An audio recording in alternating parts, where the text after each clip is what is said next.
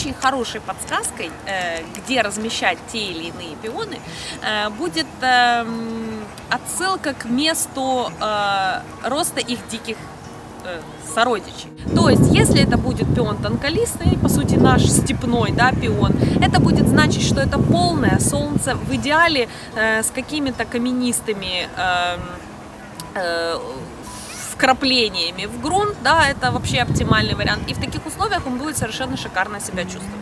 Если это будет, допустим, там пион крымский, к примеру, или кавказский, а, они растут, как правило, вот в таком прозрачном подлеске, да, то есть какая-то тень там попадает, но там действительно очень светло. Хорошо освещенное это что значит? Это значит, что да, какое-то время может какое-то дерево затенять, но большую часть дня все-таки растение находится под открытым солнцем.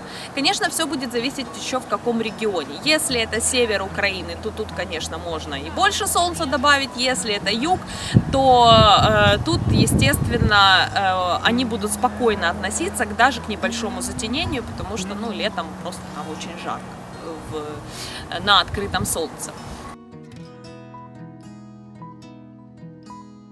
Как правило, сорта с белыми или нежно-розовыми цветками, и это касается каких-то гибридов, вот лимонные, зеленые, то есть, грубо говоря, э, холодные оттенки, да, светлые холодные оттенки, они гораздо лучше реагируют на затенение, чем на расположение на палящем солнце, потому что на палящем солнце такие цветки раскрываются, все отлично, но они очень быстро отцветают, оплавляются и теряют внешний вид. Зато в полутени они совершенно шикарно, великолепно себя чувствуют.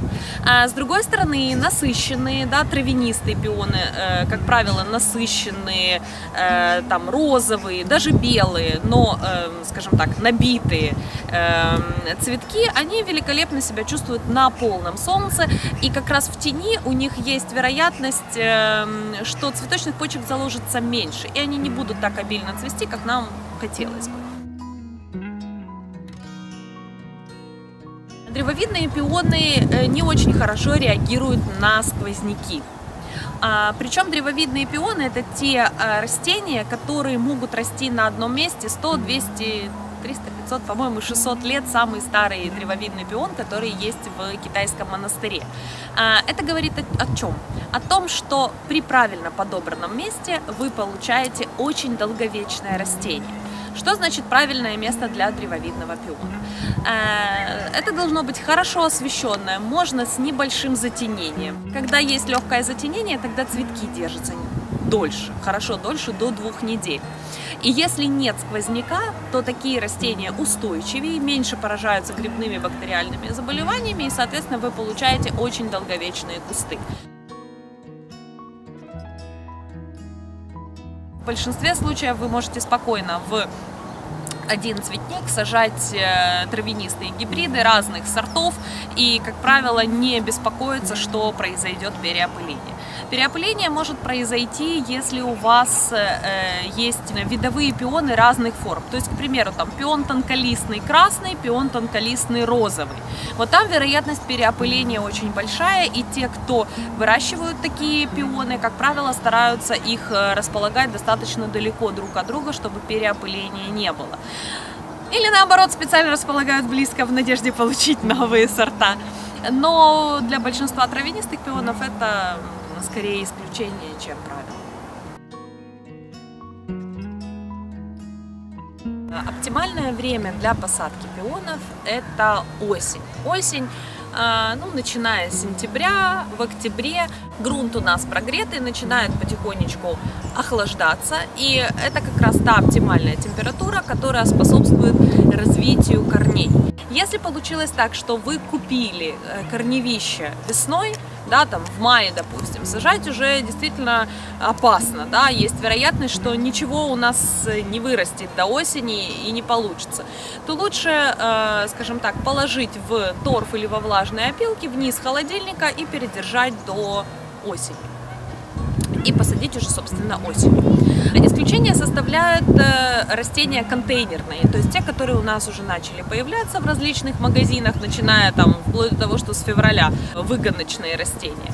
А, корневая система у них э, хорошо развита, она находится в контейнере, поэтому, в принципе, такие растения вы можете сажать э, практически круглый год. Что касается пересадок или деления, Идеальный вариант, когда листья у пионов у нас либо начали желтеть, либо пожелтели.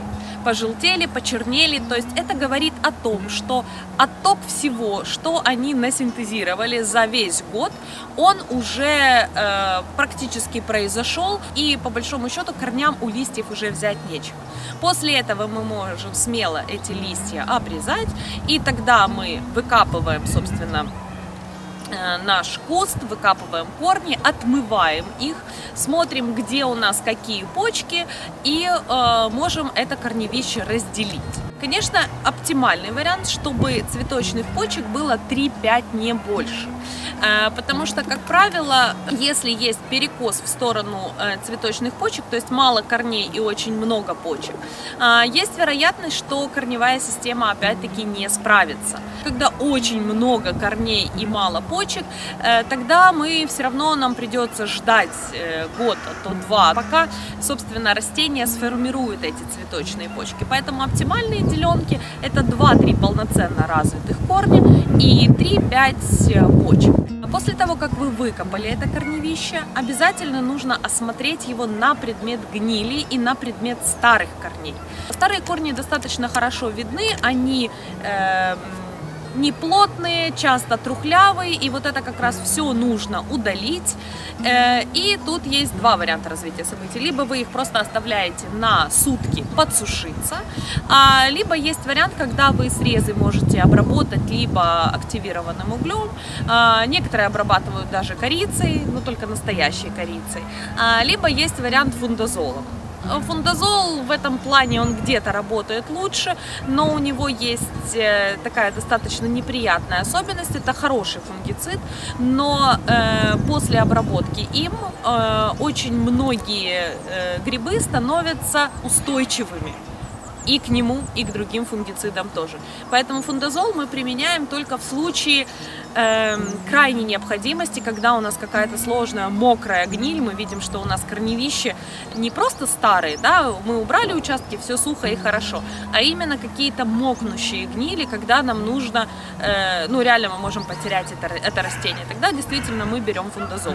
Во всех остальных случаях нам может помочь либо простой кислород воздуха, который тоже отличный фунгицид, э, но просто надо сутки подождать, либо активированный уголь. И после этого мы можем снова приступить к посадкам по тем правилам, о которых мы говорили раньше.